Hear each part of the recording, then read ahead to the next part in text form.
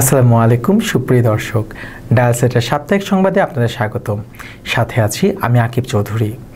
শুরুতে জানিয়ে দিচ্ছি রিফারেন কং নিবেদিত সংবাদ শিরোনাম। নিষিদ্ধ ঘোষিত জঙ্গি সংগঠন আল্লাহর দলের নয় সদস্যকে গ্রেফতার ইমজা সিলেটের তেরোতম বার্ষিক সাধারণ সভা ও কাউন্সিল সম্পন্ন। রাষ্ট্রীয় অতিথি ভবন পদ্মায় ঢাকা সিলেট চারলেন মহাসড়ক বিষয়ে মতবিনিময় সভা অনুষ্ঠিত। সিলেটে আন্তর্জাতিক কাস্টমস দিবস উদযাপিত। চীনের উহান থেকে দেশে ফেরত আনা হয়েছে তিনশো চোদ্দ জন বাংলাদেশিকে। দর্শক, এতক্ষণ শুনলেন সংবাদ শিরোনাম, এবারে বিস্তারিত। নিষিদ্ধ ঘোষিত জঙ্গি সংগঠন আল্লাহর দলের নয় সদস্যকে গ্রেফতার করা হয়েছে। গোপন সংবাদের ভিত্তিতে ঢাকা থেকে অ্যান্টি টেরোরিজম ইউনিটের চৌকস দল সিলেটে এসে এই অভিযান পরিচালনা করে। এই অভিযানে সিলেট মেট্রোপলিটন পুলিশের সহযোগিতায় নেতৃত্ব দেন অ্যান্টি টেরোরিজম ইউনিটের পুলিশ সুপার মহিদুজ্জামান। বৃহস্পতিবার দুপুর একটার দিকে সিলেট মেট্রোপলিটন পুলিশ সদর দফতরে আয়োজিত এক সংবাদ সম্মেলনে এই তথ্য জানান অতিরিক্ত কমিশনার পরিতোষ ঘোষ। তিনি বলেন, বুধবার সাড়ে এগারোটায় দশটার দিকে নগরীর শাহপরান থানাধীন আরামবাগ এলাকার একটি বাসায় অভিযান চালিয়ে তাদেরকে গ্রেফতার করা হয়। গ্রেফতারকৃতরা হচ্ছে বগুড়া জেলার মানিক আকন্দ ওরফে মেহেদি হাসান। নোয়াখালী জেলার জহির উদ্দিন বাবর, সিলেট জকিগঞ্জ উপজেলার রাসেল আহমদ কুমিল্লা জেলার আবুল কালাম আজাদ, সিলেটের জকিগঞ্জ উপজেলার কামাল আহমদ, সুনামগঞ্জ জেলার তমিউদ্দিন সুমন, রাজশাহী জেলার আশরাফুল ইসলাম, সিলেট সদর উপজেলার জুয়েল আহমদ, সিলেট গোপালগঞ্জ থানার মোহাম্মদ স্বপন আহমেদ। পুলিশ জানায়, প্রাথমিক জিজ্ঞাসাবাদে গ্রেফতারকৃত আসামিরা স্বীকার করে তারা বাংলাদেশের অখণ্ডতা, সংহতি, জননিরাপত্তা ও সার্বভৌমত্ব বিপন্ন করার জন্য এবং জনসাধারণের মধ্যে আতঙ্ক সৃষ্টি, ধর্মীয় উগ্রবাদী মতাদর্শ প্রচারের মাধ্যমে দেশের আইন শৃঙ্খলা পরিস্থিতি অবনতি ও নাশকতা ঘটানোর উদ্দেশ্যে গোপন বৈঠক ও বিভিন্ন পরিকল্পনা, প্রশিক্ষণ ও প্রস্তুতি গ্রহণের জন্য একত্রিত হয়ে গোপন মিটিং করছিল। এই ঘটনায় তাদের বিরুদ্ধে সিলেট মেট্রোপলিটন পুলিশের শাহপরান থানায় মামলা দায়ের করা হয়েছে।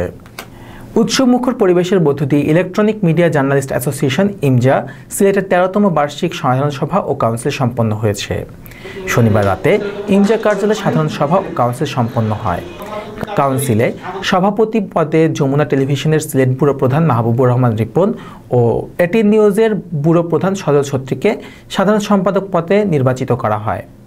এছাড়া কোষাধ্যক্ষ নির্বাচিত হন ইন্ডিপেন্ডেন্ট টেলিভিশনের ভিডিওগ্রাফার গোপালচন্দ্র বর্ধন। কাউন্সিলে প্রধান নির্বাচন কমিশনারের দায়িত্ব পালন করেন সিলেট জেলা আইনজীবী সমিতির নির্বাচন কমিশনার আলী মোস্তফা মিশকাতুন নূর। নির্বাচন কমিশনারের দায়িত্ব পালন করেন এসসিএস এর সাবেক ব্যবস্থাপনা পরিচালক অ্যাডভোকেট জুনেল আহমেদ ও ইমজার সাবেক সভাপতি সংগ্রাম সিংহ। কাউন্সিল সন্ধ্যায় একই স্থানে ইমজার শুভাকাঙ্ক্ষী ও সুধীজনদের নিয়ে আয়োজন করা হয় সুধী সমাবেশের। সিলেট সিটি কর্পোরেশনের মেয়র আরিফুল হক চৌধুরী। বিশেষ অতিথির বক্তব্য রাখেন সংসদ সদস্য শামীম শাহরিয়ার বাফের কার্যনির্বাহী কমিটির সদস্য ও সিলেট জেলা ক্রীড়া সংস্থার সাধারণ সম্পাদক। প্রধান অতিথি হিসেবে উপস্থিত ছিলেন সিলেট সিটি কর্পোরেশনের মেয়র আরিফুল হক চৌধুরী। রাজধানী ঢাকার রাষ্ট্রীয় অতিথি ভবন পদ্মায় ঢাকা সিলেট চারলেন মহাসড়ক বিষয়ে এক মতবিনিময় সভা অনুষ্ঠিত হয়েছে। বুধবার সকালে রাষ্ট্রীয় অতিথি ভবন পদ্মায় পররাষ্ট্রমন্ত্রী ডক্টর এ কে আব্দুল মোমেনের সভাপতিত্বে এ সভার আয়োজন করা হয়। সিলেট বিভাগের মন্ত্রী, জনপ্রতিনিধি ও রাজনৈতিক নেতাদের নিয়ে ঢাকা সিলেট মহাসড়ক চারলেন পরিকল্পনার এক মহাসড়ক আন্তর্জাতিক রুট হিসাবেও চিহ্নিত করা নিয়ে এবং এসব বিষয়ে আলোচনা করা হয়। এ সময় উপস্থিত ছিলেন বেসামরিক বিমান প্রতিমন্ত্রী মাহবুব আলী এমপি, সিলেট পাঁচ আসনের সংসদ সদস্য হাফিজ মজুমদার, মৌলভীবাজার দুই আসনের সংসদ সদস্য সুলতান মোহাম্মদ মনসুর আহমদ, সিলেট তিন আসনের সংসদ সদস্য মাহমুদুসামাদ চৌধুরী, সিলেট দুই আসনের সংসদ সদস্য মোকাব্বির খান সুনামগঞ্জ পাঁচ আসনের সংসদ সদস্য মুহিবুর রহমান মানিক, সুনামগঞ্জ দুই আসনের সংসদ সদস্য জয়া সেনগুপ্ত, হবিগঞ্জ দুই আসনের সংসদ সদস্য আব্দুল মজিদ প্রমুখ।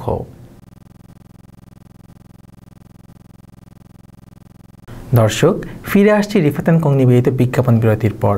সাথেই থাকুন। সুদীর্ঘ তিন যুগেরও বেশি দিন ধরে ব্যবসা পরিচালনা ও সেবা প্রদানের অভিজ্ঞতায় দেশি বিদেশি পণ্যের বিপুল সমাহার নিয়ে এলো রিফাত অ্যান্ড কোম্পানি। আমাদের রয়েছে আটটি শাখা। সিলেট শহরের প্রাণকেন্দ্র জিন্দাবাজার, শহীদ প্লাজা সহ মেন্দিবাগ দরগা গেট সুবিদ বাজার, গোবিন্দগঞ্জ এবং গোয়ালা বাজারে রয়েছে আমাদের শাখা। রিফাত অ্যান্ড কোম্পানির সুপরিসর শাখায় আপনাদের সবাইকে আমন্ত্রণ। স্বাদে ও মানে সেরাটা নিয়ে আমরা আছি আপনাদের অপেক্ষায়। সিলেট নগরীর কাজলশায় অবস্থিত কমফোর্ট মেডিকেল সার্ভিসেস আপনার সেবায় নিয়োজিত। আমাদের সেবাসমূহ digital x ray pathology, ultrasonogram, endoscopy ও colonoscopy, uroflowmetry, lab, biomedical analysis, microbiology, electrolyte, haematology, hormone level test. এছাড়া আমরা হাসপাতাল ও বাসা থেকে নমুনা সংগ্রহ করে থাকি। রবিবার সিলেটে উদযাপিত হয়েছে আন্তর্জাতিক কাস্টমস দিবস। এই উপলক্ষে নগরীতে বর্ণাঢ্য শোভাযাত্রা অনুষ্ঠিত হয়েছে। বিস্তারিত নুসরত জাহান নাজমুনের রিপোর্টে। সিলেটে উদযাপিত হলো আন্তর্জাতিক কাস্টমস দিবস। রবিবার সকাল সাড়ে নয়টায় মেন্দিবাক্স কাস্টমস এক্সাইজ ও ভ্যাট কমিশনার সিলেট কার্যালয়ে আলোচনা সভা ও বর্ণাঢ্য শোভাযাত্রা অনুষ্ঠিত হয়। কাস্টমস এক্সাইজ ও VAT commissioner Sylhet commissioner doctor Mohammad Golam মনিরের সভাপতিত্বে এ সময় প্রধান অতিথি হিসেবে বক্তব্য রাখেন জাতীয় রাজস্ব বোর্ড সদস্য, tax survey and inspection Ranjan Kumar Bhowmik. আন্তর্জাতিক কাস্টমস ডে দু হাজার বিশে সিলেট বিভাগের শুভ উদ্বোধন ঘোষণা করছি। সংক্ষিপ্ত আলোচনা শেষে অতিথিবৃন্দরা শান্তির প্রতীক পায়রা ও বেলুন উড়িয়ে অনুষ্ঠানের সূচনা করেন।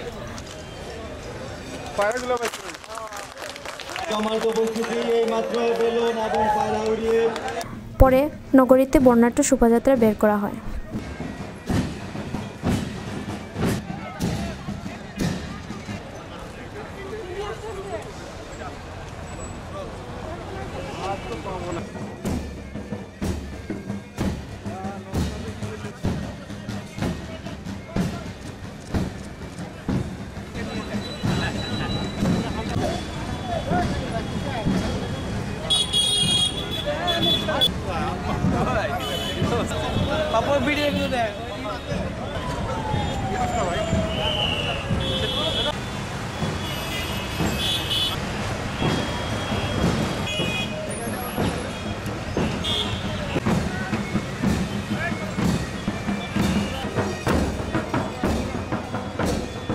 শোভাযাত্রাটি নগরীর বিভিন্ন সড়ক প্রদক্ষিণ করে মেন্দিবাক্স কার্যালয়ে এসে সমাপ্ত হয়।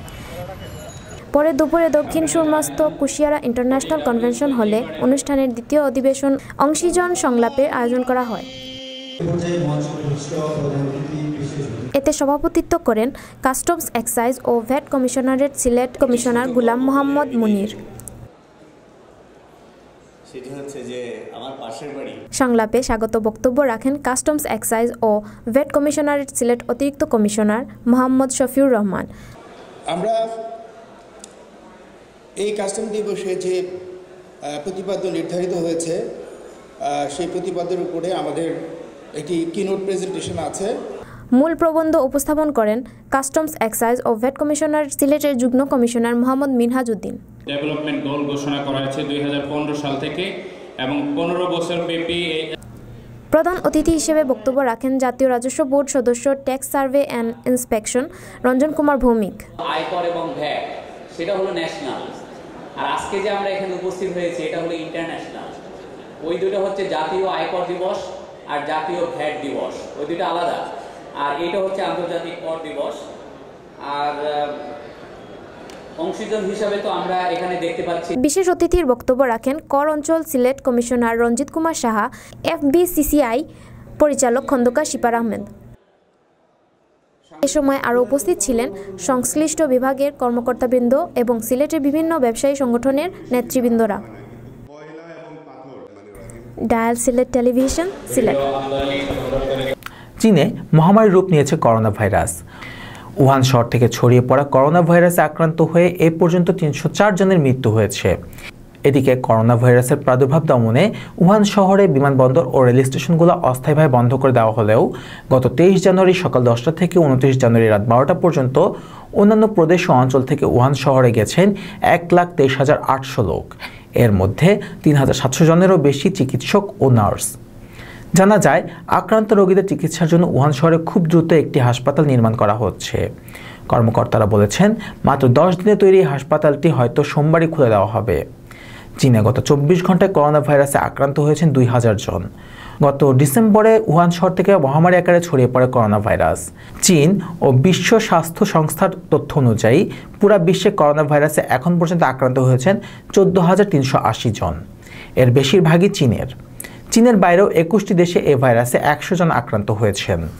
চীনের অবরুদ্ধ নগরী উহান থেকে তিন শতাধিক বাংলাদেশিকে একটি বিশেষ বিমানে ফেরত আনা হয়েছে। ওই বিমানে তিনশো চোদ্দ জন যাত্রী ছিলেন। সকল পরীক্ষা নিরীক্ষা শেষে তিনশো ষোলো জন বাংলাদেশি নাগরিক ফিরে আসার ছাড়পত্র পেলেও শেষ মুহূর্তে দুজন যাত্রীর গায়ে জ্বর থাকায় তাদের অফলোড করা হয়।